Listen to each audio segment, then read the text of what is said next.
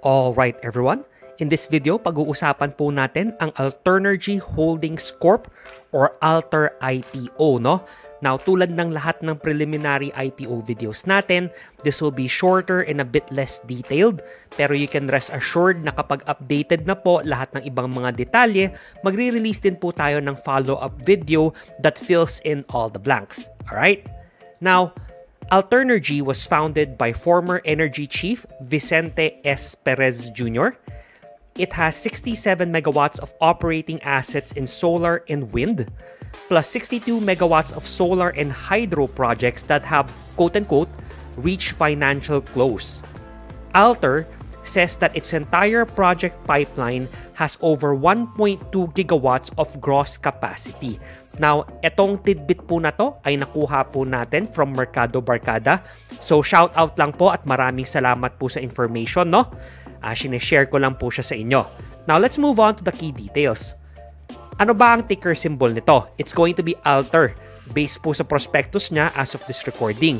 Now, obviously, pwede pa pong magbago yon no? At kapag nagbago po to, I'll update you guys. Ang offer price po nito will be up to 1.48 or a maximum of 1 peso and 48 cents. Uh, na-mention ko nga before no, na parang lately, hindi na sila naglalabas ng range. Di ba dati kung napapansin nyo, sabihin nila kunyari uh, from 65 cents to 90 cents, parang ganon. No? Ngayon, it's all just up to ganyan or a maximum of ganyan. So Alter is no different. Offer price will be up to 1.48, no? And they're looking to raise 2.18 billion. Now, the final price date for Alter, hindi pa siya determined. Pero it's going to be between October 20 to November 3, 2022 daw, no? Now, uh, I'll keep an eye on this. Babantayan ko to para sa inyong lahat, no? So, kapag na-release na yung final price, doon din po marirelease yung follow-up video natin. Kasi kadalasan, yun yung last piece of the puzzle na hinihintay natin para makompleto po yung mga detalye natin no, for any particular IPO. Now, the offer period will be from November 11 to November 17, 2022. At ang listing date for Alter will be on November 25, 2022. Okay? Now, the sole issue manager and lead underwriter for, for itong Alter na IPO will be ICCP or Investment and Capital Corporation of the Philippines, no? Now again, it behooves me to remind you na make sure na alam nyo po yung track record ng underwriter ng isang IPO para lang po meron kayong idea on how well or how poorly they might perform moving forward. Siyempre, hindi lang naman po yun yung end-all and be-all ng decision-making process natin, but it should be a part of it because it's important.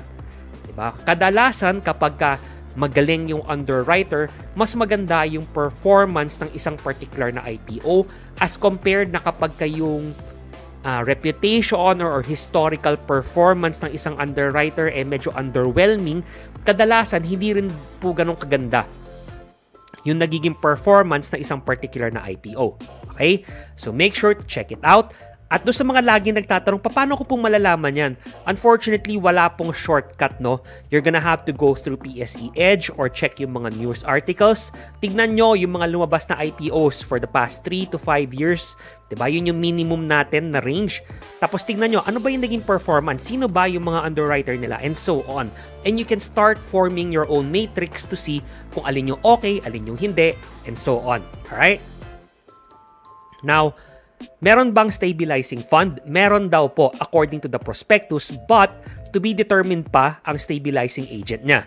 So again, once these details come out, I'll make sure that I keep you guys posted, no?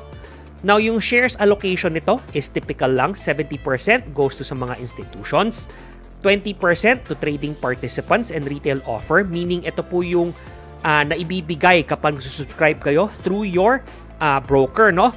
Tapos 10% to LSI, meaning via PSEEC. Now again, if hindi pa po kayo marunong paano mag-subscribe or mag-avail ng IPO, whether it's through PSEEC or via your broker, I've posted video links in the description box below kung saan pinapaliwanag ko po to, no? In fact, pinakita ko pa ano yung naging resulta after na makakuha ako na allocation.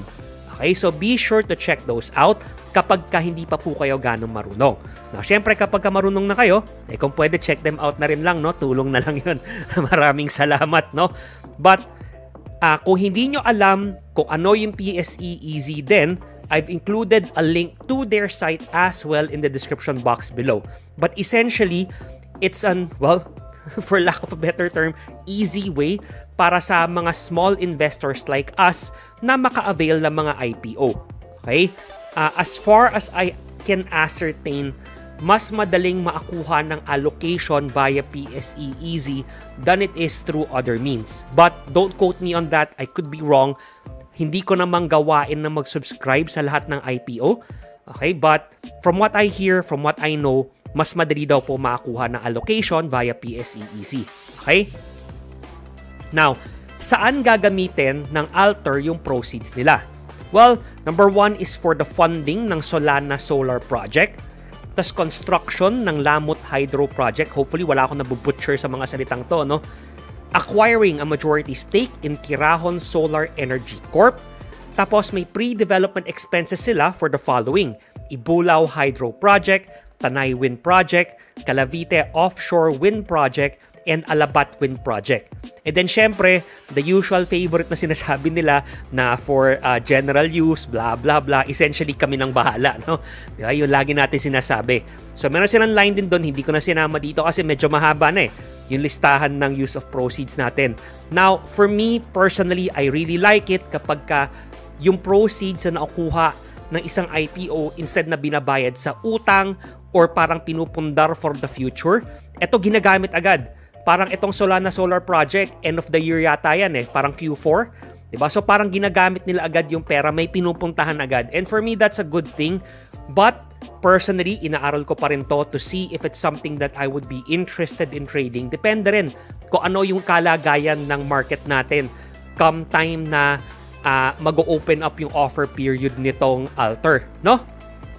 So guys, dito po nagtatapos yung video natin. As I said, it's a short video just to whet your appetite, di ba? Kumbaga to wet your lips uh, dito sa Alter na IPO. Let me know in the description box below. Is this something that interests you? Kasi alam ko renewable energy is a kumbaga a hot button no for a lot of people. So, is this an IPO that interests you? Yes, no, why? Di ba? Pakisabi naman sa comment section. I want to hear from all of you, no? And as always guys, maraming maraming salamat po sa panonood. I really really appreciate it. Good luck and happy trading!